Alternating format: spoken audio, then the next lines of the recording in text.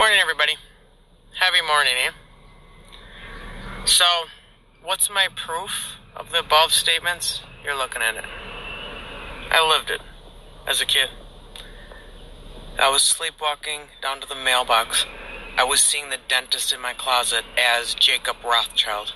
I was called Crazy Fever Dreams. I was basically tortured. Go watch the song Go Ask Alice when she's 10 feet tall. I'm was 10 feet tall. What they did is Alice in Wonderland syndrome. So they did some sort of telepathic drugging. So I would be a little kid in my corner, terrified like this. And the whole room, my dresser would be getting so huge, pushing me in the corner, and then it would go "Ah," super small, and I would be 10 feet tall. Alice standing there, yeah, screaming. Oh, yeah, Heather had another fever dream, doctor says. Sorry if it scares you. It's real. So what do we do with this shit? Well, I'm here, I'm still alive, I'm almost 53 years old. Why did they do this to me? Well, blonde hair, blue eyed, Pleiadian looking person. Maybe I'm a hybrid, maybe I'm a whatever. I don't even want to know what they did to me. Since meeting Lydia Durham over there with a cryptic pregnancy, trust me, a whole bunch of other stuff's going through my head of what they're doing. Okay? REM sleep is nothing more than them taking us and I think it's electrocution. Why did I have hundreds of electrocution bruises on my legs only? Only legs, pea sized bruises, 100.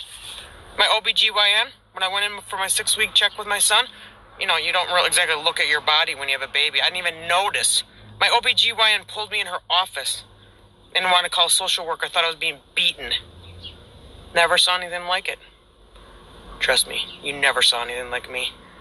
And I'm coming for him. So why do I do this insanity for your children? Because there's all sorts of star seed kids. Okay, we're star seeds. We're like the older generation star seeds, and these are the new generation star seeds. This seven foot tall Sydney James Blessington, and this one, Grace Ann Blessington, so bright her aura. See that magenta aura? It shows up on the photograph. See this? And my kids are in their 20s. Can you imagine how powerful these starseed, indigo, whatever crystal kids you want to call them? These autistic ones? Bring them to me. They poisoned those autistic children's mind because of who they are, and we're going to bring them back. We got antidotes, we got frequencies, we got all the puzzle pieces. Bring me your sickest of the sick kids that no one will touch. That's what I do. I specialize in it. Look it up. Blessington Botanicals. They stole that business from me too.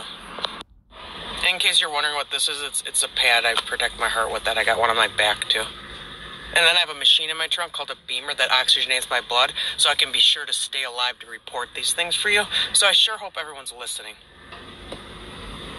I've had it, gang.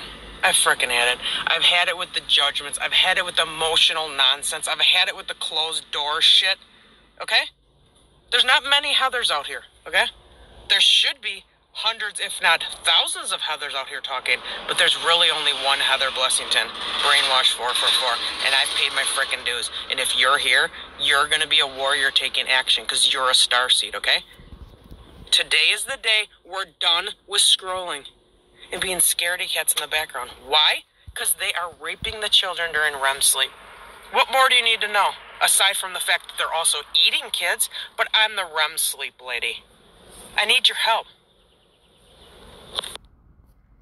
Okay, so I encourage you to read this regarding 21 pilots. It will help put everything together.